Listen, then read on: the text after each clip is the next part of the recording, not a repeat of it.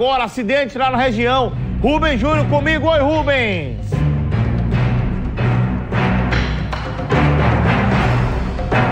O bonitão, tô de volta, hein? Tô no altiplano Cabo Branco. Uma colisão, carro poste aconteceu agora há pouco aqui nessa região do altiplano, em frente ao laboratório de análises clínicas.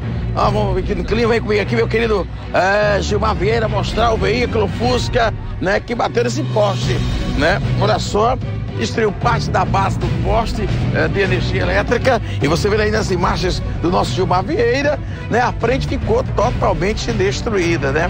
Totalmente destruída o veículo, para-brisa estourado, né? Os faróis, para-choque. Fusquinha até bonito, rapaz, até bonitinho, danado. Eu gosto de Fusca, viu, viu Bruno Pereira? Eu, eu, te, eu tinha até um Fusquinha azul.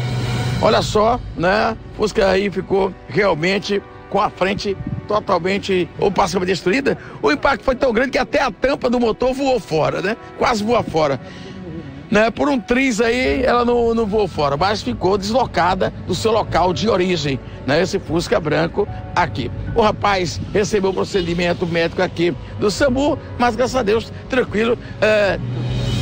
Eu tô aqui com o enfermeiro socorrista Lucas, técnico Lucas, aqui comigo aqui, Gilmar, por gentileza. Lucas, aqui realmente, apesar do impacto, mas é, lesão leve aí no condutor do veículo, né? Isso, ele teve um TCE leve aí, a gente, ele já mesmo já recusou atendimento do SAMU, perguntando o que faria nesse momento. A gente fez as orientações para ele, agora cabe a ele agora tomar as condutas com o procedimento do veículo. Mas ele via, disse que segundo ele ia deixar um amigo né, em casa e voltar para o 13 de maio. Mas no mais, sem suspeita de fraturas, teve um leve corte no supercílio, mas o mesmo recusa atendimento. Já assinou nossa ficha, para deixar bem claro e não quer ser removido para o hospital. O papel de vocês é esse, né? Dar os, fazer os procedimentos.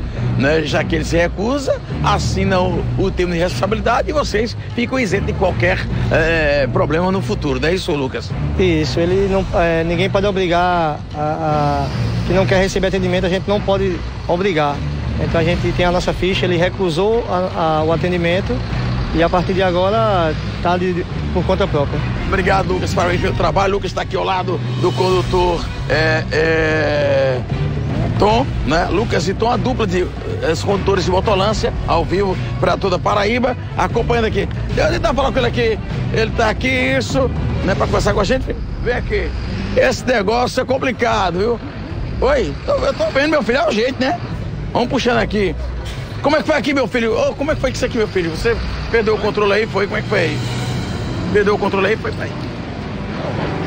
Perdeu o controle, pô. Perdeu o controle, né? Perdeu o controle. Tá aí, ó. Mas tá tranquilo? Tá tranquilo? Tô, tô bem. Tá bem, né? Maravilha, maravilha. Não é que não vai precisar ir pro hospital, não? Não. não, não, não. Eu só tô... O impacto da batida, né, filho? Perdi, perdi meu carro, pô. Aí, o importante é a vida, né, cara? Né? Muito bem. Tá importante, né?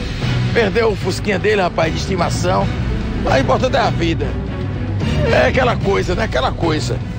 Enfim, perdeu o controle na curva aqui, viu, Bruno? Vim aqui, ó. Né? Eita lá, foi, foi ruim, foi. A primeira veio aqui, a segunda foi ali, pronto, aí perdeu a frente do veículo. Bom, é, mas, oh, pelo amor do guarda. Enfim. Aí sai Bruno Pereira com imagens do Pantera Negra Gilmeira, repórter Rubens Júnior, o bonitão. Pra TV Arapuã, a TV que a gente faz. Chama! Ô oh, rapaz, eu lembrei agora se o meu do filme, se o meu Fusquinha falasse, né? Fusca desse aí, não é nem a questão de segurar a imagem por gentileza do Fusca, não é nem a questão do valor, do bem agregado, é a questão sentimental mesmo eu, eu gosto de carro antigo, apesar de não ter ainda um carro antigo, mas se Deus quiser ainda vou ter um carro antigo na minha garagem, seja um Fusquinha, uma D20, sou apaixonado por D20. É o valor sentimental que tem, né? Você cuida como se fosse um filho seu, com carinho, com todo cuidado, com atenção. É relíquia se hoje tem um Fusquinha organizado, um Jeep, um Chevette, uma Belina, uma D20, é, aqueles carros mais antigos, uma D10, uma S10, um Chevette, como já falei, um Corsel, um Monza. Olha só, segundo o Cacau, avaliado em quanto, Cacau? É, o Fusquinha avaliado em 12 mil reais. Esse ah, desse acidente, não é isso? O Cacau está trazendo para mim aqui as informações agora. São 6 e 7 e 25 agora, 7 e 25